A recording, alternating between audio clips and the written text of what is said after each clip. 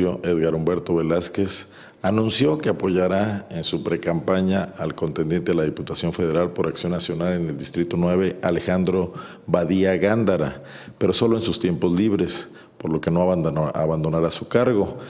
Velázquez se registró como suplente de Badía Gándara en días pasados, por lo que el alcalde Sixto Cetina le dijo que no tiene que renunciar porque se trata de una suplencia.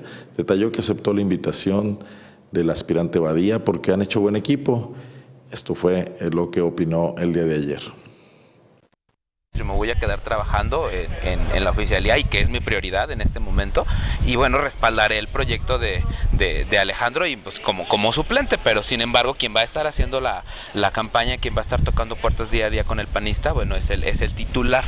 En todo caso yo haré, desempeñaré las funciones que siempre he desempeñado en las campañas, en, en las áreas más administrativas, ¿no? En mis tiempos libres.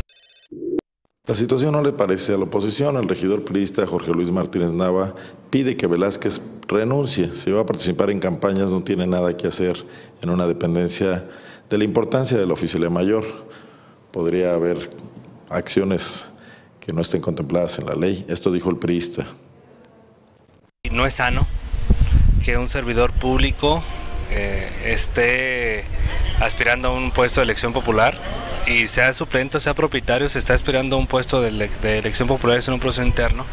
Y lo más aún cuando el que está encargado de las compras del municipio está vinculado con un partido político de una manera tan clara.